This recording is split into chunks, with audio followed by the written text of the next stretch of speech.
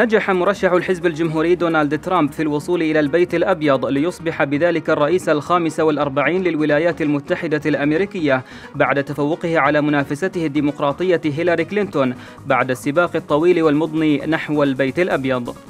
وقد تخطى ترامب حاجز ال 270 صوتا بفوزه بولاية بنسلفانيا وبحسب آخر الإحصاءات فاز ترامب ب 28 ولاية بينما فازت كلينتون ب 19 ولاية.